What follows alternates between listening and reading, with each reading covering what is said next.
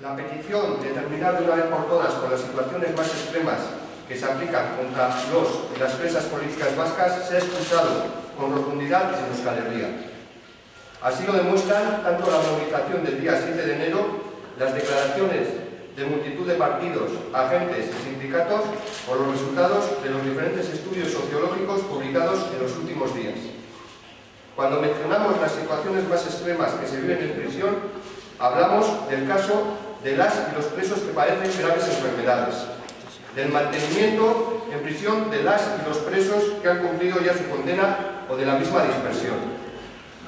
Los efectos de la cruel e inhumana política penitenciaria vigente han provocado un sinfín de desgracias en los últimos años.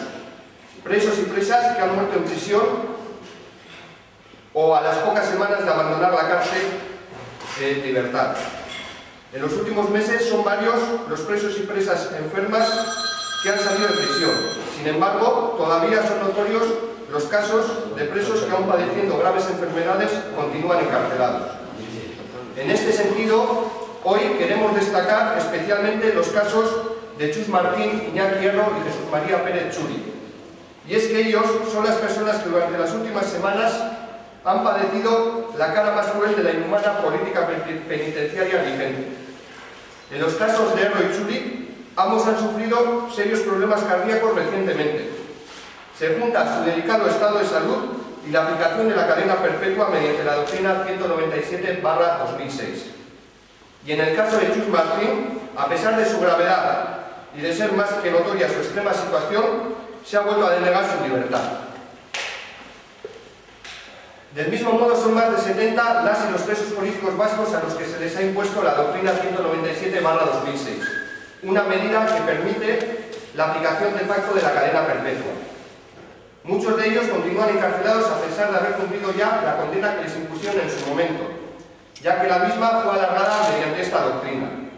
Así las cosas, la detención ayer de Pachi Gómez, vecino de Orcuella, es un acontecimiento de suma gravedad, ya que tras pasar 20 años encarcelado y haber cumplido íntegra la condena que le fue impuesta, ahora ha sido arrestado para cumplir 10 años más de castigo añadido.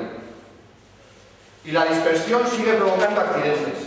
Desde que comenzó en 2012, son, desde que comenzó en 2012, son ya tres los siniestros padecidos por familiares, amigos y amigas de los presos y presas políticas vascas.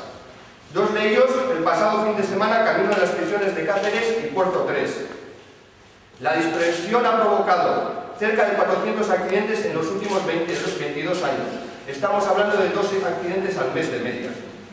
Y el, riesgo al que exponen los miles, a los miles de ciudadanos y ciudadanas vascas que cada fin de semana deben de realizar largos viajes es muy elevado. Por lo tanto, queremos poner de manifiesto la gravedad de la situación.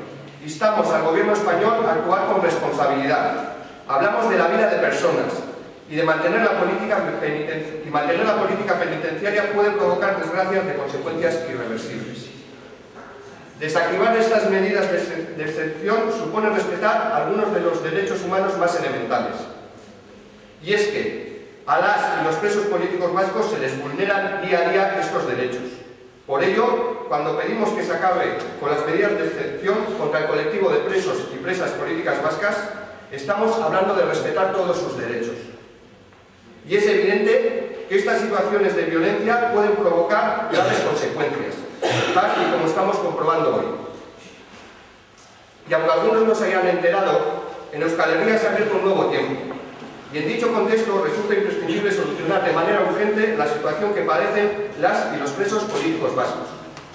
Esto es lo que espera y pide la mayoría de la sociedad vasca. Demanda que también se fundan los principales partidos del país y un sinfín de organismos y agentes tanto dentro como fuera de nuestras fronteras, a excepción del Partido Popular y su entorno.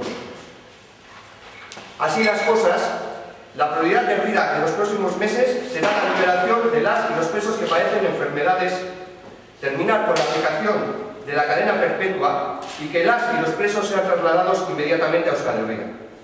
Para ello, anunciamos que vamos a seguir trabajando junto a diferentes sectores y agentes de la sociedad vasca en el camino de superar estas situaciones y otras de similar índole que se puedan presentar en el futuro, vemos absolutamente necesario conseguir que las instituciones, partidos, agentes y personas que cuentan con competencias para cambiar esta situación varíen de raíz su actual posición.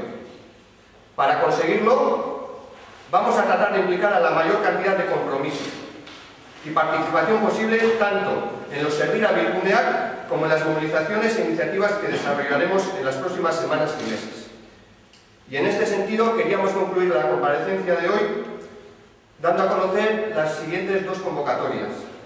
Mañana, la manifestación de Sarao para solicitar la libertad de Jesús María Pérez Chuli, que partirá a las 6 de la tarde de la plaza del Ayuntamiento, y por otro lado, también, de cara al último viernes de mes, día 24 de febrero, llamamos a tomar parte en las movilizaciones que se efectuarán en todos los pueblos de Euskal Herria.